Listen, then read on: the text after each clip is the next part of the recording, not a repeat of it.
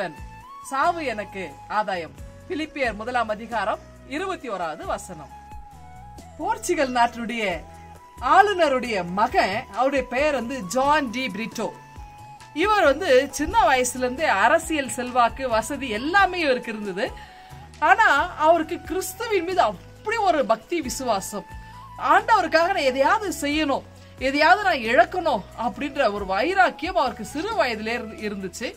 அவங்க பெற்றோர் வந்து அவர் அரசியல் இதுல கொண்டு வரணும்னு ஆசைப்பட்டாங்க. ஆனா அவருக்கும் ஆண்டவருடைய ஊழியத்தை செய்யணும் அப்படின்னு ஒரு வாஞ்சை. எல்லாத்தையும் விட்டுட்டு பாருங்க. இடத்துல ஜெபிச்சு நான் எந்த இடத்துக்கு போகணும்? நீங்க விரும்புறீரோ அந்த இடத்துக்கு என்னை அனுப்புங்க. நான் போய் ஊழியம் செய்யறேன்னு சொல்லிட்டு தன்னை அர்ப்பணிச்சார். கடவுள் அவருக்கு தரிசனமாய் கொடுத்த இடம் இந்தியா தேசத்திலே தென் தென் தமிழகத்தில் இருக்கின்ற மதுரை மாவட்டம். அப்ப மதுரைக்கு அவர் என்ன செய்யறாரு வரார். கிட்டத்தட்ட பத்து ஆண்டு காலங்கள் ரொம்ப கஷ்டப்பட்டார்.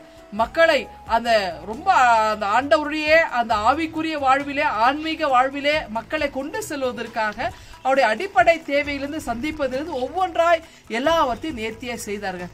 ஆனா அங்க இருந்த அந்த தலைவர்களாக தலைவர்களா இருக்கிறாங்க ஊர் தலைவர்கள் இவங்களுக்கெல்லாம் இவர் ஏதோ மதம் மாத்துறாரு அப்படின்ற ஒரு எண்ணம் வந்துட்டோடனே அவரை வந்து தண்டிப்பதற்கு அவரை அவரை வந்து கொலை செய்யணும் அப்படின்னு ஒரு தீர்மானம் போடுறாங்க. மரணத்தை கண்டு இவர் வந்து பயப்படலை.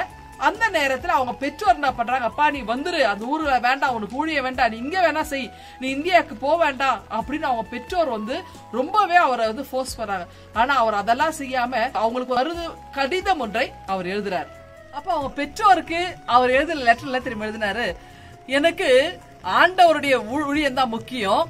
எனக்கு நீங்க ரெண்டாவது இடம் தான் ஆண்டவருக்காக நான் எதையாவது செய்யணும். ஒருவேளை அது என்னுடைய மரணமா இருந்தால் அதை நான் வந்து பாக்கியமாக நான் கருதுகிறேன்.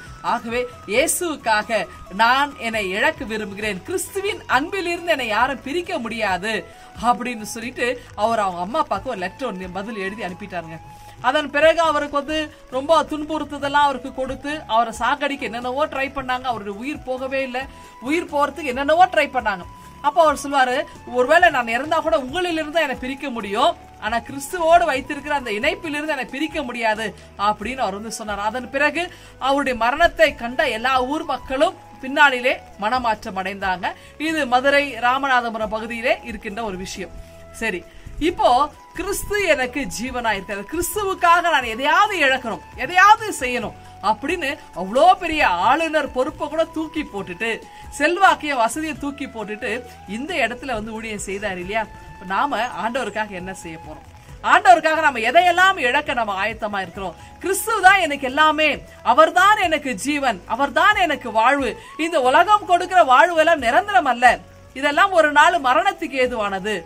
ஆனால் கிறிஸ்துவோடு இணைந்திருப்பது ஒரு மிகப்பெரிய ஒரு ஒரு நித்தியமான வாழ்வு. என்பதை நாம் உணர்ந்திருக்கிறோம் இல்லையா? அப்ப ஆண்டவருக்காக நாம நம்மையே அழைப்போமா? நம்மையே அர்ப்பணிப்போமா? ஆண்டவருக்காக நாம் எதையாவது இந்த உலகத்துல செய்யணும். அதற்காக நாம் அர்ப்பணித்து இந்த எங்கள் இந்த நாளை நீங்கள் துவங்குங்கள். இந்த சிந்தனையோடு நீங்கள் இந்த நாளை நீங்கள் விசுவாசத்தோடு தொடரும் பொழுது கர்த்தர் உங்களை ஆசீர்வதித்து வழி நடத்தி காப்பாராக.